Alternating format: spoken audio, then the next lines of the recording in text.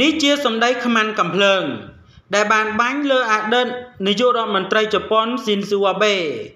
មកពីខាងលោកនឹងជាប់ពាក់ព័ន្ធជាមួយនឹងរឿងដីធ្លីបងប្អូនជាទីគោរពរាប់អានរឿងនេះមិនមែនជារឿងធម្មតាឡើយមានជាប់ពាក់ព័ន្ធជាមួយនឹងរឿងមួយចំនួនទៀតដែលនៅក្នុងលោកក្រោយពេលដែល បញ្ចប់អាណត្តិនាយករដ្ឋមន្ត្រីរបស់លោកលោកស៊ីនស៊ូអាបេត្រូវបានគេស្គាល់ថា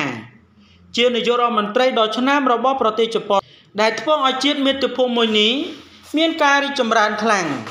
លោកក៏ត្រូវបានជានាយករដ្ឋមន្ត្រីដែលកាន់តំណែងយូរជាងគេផងដែរនៅក្នុងប្រទេសជប៉ុន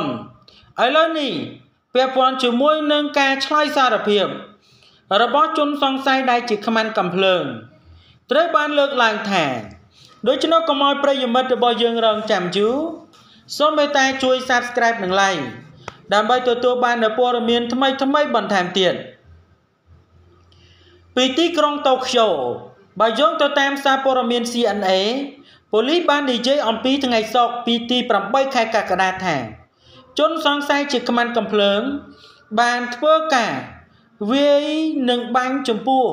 អតីតនាយករដ្ឋមន្ត្រីជប៉ុន លោកស៊ីនស៊ូអាបេលោកបានសារភាពថាខ្លួនគេមាន បំណងគឺកំណត់គោលដៅ លើអ្នកនយោបាយរូបនេះយូរណាស់មកហើយគឺបាននិយាយថា ខ្លួននឹងមានការខឹងសម្បាយជាខ្លាំងចំពោះអង្គការមួយ ដែលខ្លួនជឿថាគឺជាអាបេជាអ្នកទំនាក់ទំនងជាមួយនឹងអង្គការមួយនោះជាសម្ងាត់មន្ត្រីប៉ូលីសជាន់ខ្ពស់នៅតំបន់ភាគខាងលិចនៃទីក្រុងណារ៉ាជាកន្លែងដែលមានការបាញ់ទៅលើអតីតនាយករដ្ឋមន្ត្រីកើតឡើងនោះ គឺជាជនដែលអត់មានការងារធ្វើ មានវ័យ41ឆ្នាំឈ្មោះធីស៊ូយ៉ាយ៉ាម៉ាសាមីដែលបានប្រើប្រាស់កំភ្លើងខ្លី ហើយដោយដៃសម្រាប់ធ្វើការបាញ់ទៅលើអតីតនាយករដ្ឋមន្ត្រី លោកស៊ីនស៊ូអាបេ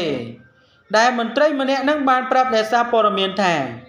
នេះគឺជាការអះអាងរបស់ជនសង្ស័យ ហើយយើងនឹងបានកំណត់ថាកំភ្លើង